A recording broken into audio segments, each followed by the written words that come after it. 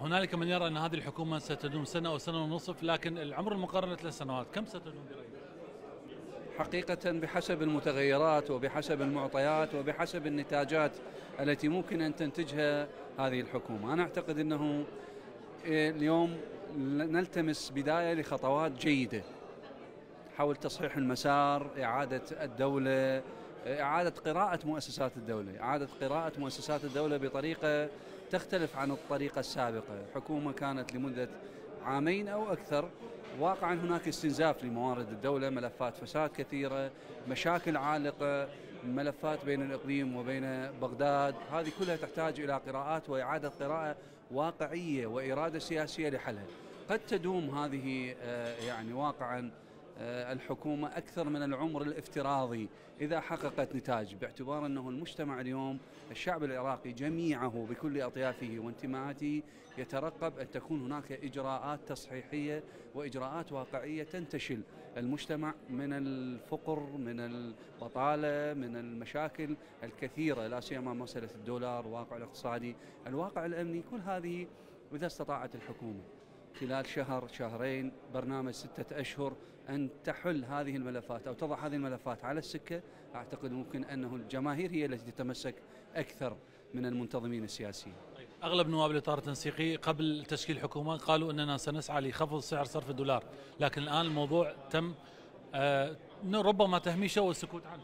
ليس قضية تمييز. هناك واقع اقتصادي لا يمكن تغييره. واقعا موضوعة الدولار عندما هناك إرباك يحصل في السوق العراقية عندما تأتي تخفض الدولار هو مرتبك بالأصل ومشتبك ثم تأتي مرة أخرى تغيره بحسب الاختصاصيين طبعا يقولون إنه لا نستطيع تغيير سعر الصرف إلا بعد أربع سنوات أو خمس سنوات من تغييره، اليوم مضت أكثر من سنتين على تغيير سعر الصرف أو سنة ونصف. مرة أخرى يرجع سعر الصرف إلى يعني هناك تعرف شركات التزامات عقود متعاقدة الدولة مع مجموعة أيضا من الشركات العالمية. أعتقد ممكن أن يتأنى يعوض المواطن بتغيير سعر الصرف عن طرق متعددة ممكن أن تغير الواقع. أما أنه نتحدث طبعا خطاب سياسي في تلك المرحلة كان مختلف. الواقعية الاقتصادية تختلف عن الخطاب السياسي طيب في كل دورة وفي كل حكومة آه، يتم التعامل بين للملفات العالقة بين بغداد وأربيل على آه، مصطلح أو مفهوم الترحيل أو التأجيل. هذه المرة هل سنشهد حسم؟ لا طبعا التأجيل والترحيل هو أكبر الأخطاء الاستراتيجية التي حدثت في الحكومات السابقة وسببت لنا أزمات حقيقية أدت إلى أن تكون هناك أزمات مجتمعية متقابلة. حتى تراشق الإعلامي اليوم أكو هناك استيقاف وتوقف قانون النفط والغاز هو الحل الوحيد أن يجب أن يطبق أو يشرع في مؤسسة مجلس النواب لمدة ستة أشهر. أعتقد هنا الإرادة السياسية في هذه المرحلة حاضرة. الجميع يعني تعب وأنهك بقضية ترحيل الأزمات من حكومة إلى أخرى. هذه المرة أنا أعتقد تختلف تماما. هناك إرادة واقعية لدى الجميع حتى المختلفين أن تحل هذه الأزمات وفق سقف الدستوري. وهذا هو النتاج اللي اليوم أنتجنا هذه الحكومة. طيب التيار الصدري والشارع التشريني هل هذا ترقب أم سكوت قبل العاصفه؟ التيار الصدري مترقب.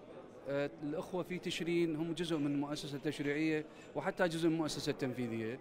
اليوم لم يعد هناك آه، يعني مراقبة حقيقية كما كانت في السابق السابق للأسف تشرين منقسمة على ذاتها وعلى نفسها ولكن يبقى طموح الشباب وتبقى هذه الأصوات تستمر في الضغط. وأنا مع أن تستمر هذه في الضغط حتى تصحح مسار الحكومة إن أخطأت في مساحة ما. حتى الأخوة في التيار الصدري عندهم قضية الترقب والحساب ممكن أن تكون آه، بعد ستة أشهر آه، أو عندهم نتيجة محققة قد تكون استشرافية أنه هذه الحكومة تفشل وبالنتيجة فشل هذه الحكومة سوف يرجع مرة أخرى آه، صدارة الأخوة في التيار الصدري للمشهد السياسي كل الأطراف السياسية تؤكد على أن هنالك فساد مستشري في العراق هل سيقوم السوداني بتقديم حيتان الفساد الكبيرة؟ لا يمتلك السيد السوداني عصا سحرية حتى ينهي مسألة الفساد التي دامت أكثر من 17 عاما في ليلة وضحاها. أنا أعتقد هذا آه، يعني أنا أسميها آه، رومانسية سياسية عالية أو طموح عالي. نعم سقف الطموح أن يوقف الاستنزاف للفساد. إيقاف الاستنزاف في المرحلة الأولى هو أهم من الخطوات التي تتلي لأن بحد ذاته إذا استطاع أن يوقف الفساد في المرحلة الأولى هو إنجاز بحد ذاته. طيب.